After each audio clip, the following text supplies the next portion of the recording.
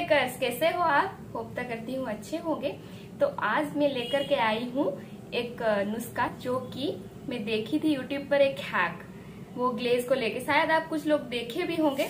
इस तरह एक ग्लास था, उसमें ग्लेज डाला गया था तो उसका हैक मैं वो ग्लेज तो घर पर बना कर, बनाने के लिए ट्राई की, लेकिन वो पूरा ग्लेज मिरर तरह नहीं आया, लेकिन जितना भी ग्लेज आया ना, बहुत ही अच्छा था। और वो हैक में मेरे पास तो प्लास्टिक का नहीं था, सबके पास नहीं होगा तो मैं नुस्खा लगाई हूँ, आइडिया लगाई हूँ, जो लगाई हूँ, आप देखिए। वो हैक क्या है तो आप देख ही रहे हैं। तो चलिए, किस तरह मैं आइडिया लगाई और किस तरह बनाई, देखते हैं वीडियो।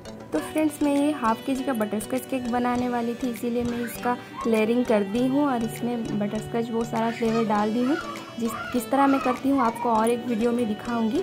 और मैं हमेशा से इस तरह का O H P sheet market में जो कि अवेलेबल है और ऑनलाइन भी अवेलेबल है अगर आपको चाहिए तो कमेंट कीजिए मैं लिंक आपको ज़रूर भेज दूँगी।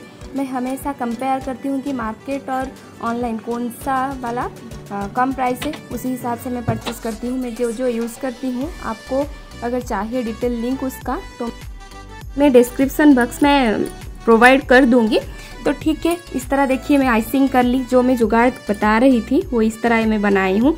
एक ग्लास ली हूँ जो आता है ना यूज़ एंड थ्रो कागज़ का ग्लास वही ली हूँ, उसको साइड्स में देखिए किस तरह कट लगा दी हूँ।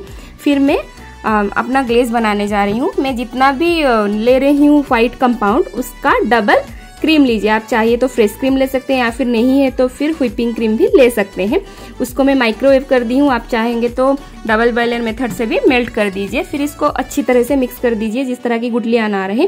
फिर मैं ये ग्लेजिंग जेल ली हूँ। इसमें वन टेबल स्पून ऐड कर रही हूँ, ताकि ये थोड़ा सा ग्लेज आए।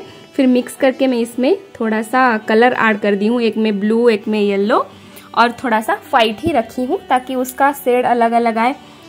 तो फ्रेंड्स देखिए, जो मैं ग्लेज बनाई थी उसको स्प्रेड करने के लिए नीचे एक प्लेट, उसमें एक रैक रखी हूँ, उसके ऊपर एक कप और एक, वो केक जो आइसिंग की थी उसका रखी हूँ।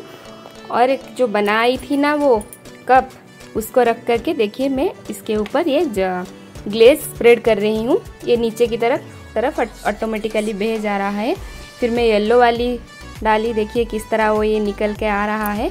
आप लास्ट में इसका रिज़ल्ट देख पाएँगे। फिर मैं थोड़ा सा वाइट वाली ऐड कर दी ताकि थोड़ा सा सेड अलग अलग आए। और इसको मूव करते ही उठाई ताकि ये मिडिल का जो पोर्सन है ना वो पूरा का पूरा जिस तरह दिखाए कि एक पैटर्न हुआ है। तो देखिए किस तरह नीचे टपक रहा है और आ, मैं जो मूव करवाई थी ना मिडिल वाली वो किस तरह अच्छी तरीके से एक पैटर्न आया आप देख ही सकते हैं। और ये केक कितनी खूबसूरत लग रही है आप देख रहे हैं।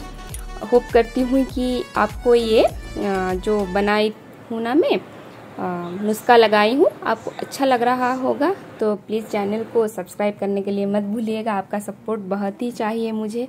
Thanks for watching.